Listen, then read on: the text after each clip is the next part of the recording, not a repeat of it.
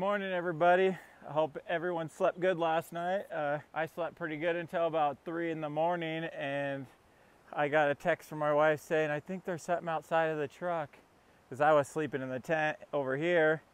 Well, what happened was I ended up using the igloo so that we could get in the back of the truck easier, and I left it out there and actually had a raccoon come open it up and eat some of my eggs and some of my bacon. So we're gonna have to stop and get some more eggs and bacon. But other than that, I stayed warm in the Eskimo ice hut and they stayed warm in the truck. Uh, we're staying here at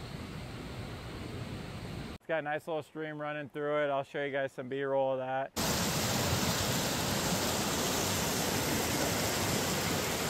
Kind of wanted to go up and show you guys the bathhouse. So if you guys are traveling through, it's actually a really nice area. Here's what the one campsite looks like. They have a couple smaller campsites like this and some down by the stream. I'll see if I can get some video of that to show you guys. I think there's three camp areas here if anyone's coming and camping.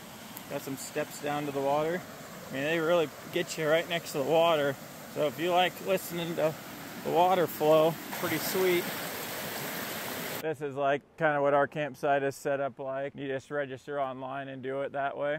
But I kind of want to come up here and show you guys what the bathhouse looks like so you guys know it's kind of nice that you get this when you register. They'll send you a code to be able to get into everything. They also have a clubhouse, they call it over there. I'll show you guys that too. All right, here's the clubhouse. Got little games here for the kids. This arcade game, the main guy has to turn it on. He's got a master key, it kind of shows you.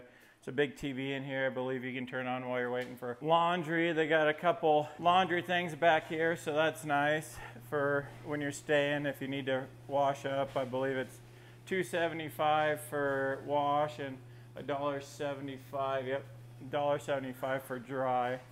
I got a restroom in here too, but it's also coded. So when you get a reservation, it'll uh, give you a code so you can get in. Got a little coffee area here with some travel guides and little microwaves. So this is the hideout. Pretty cool spot. I'm gonna show you the, what these bathroom restrooms look like first. All right.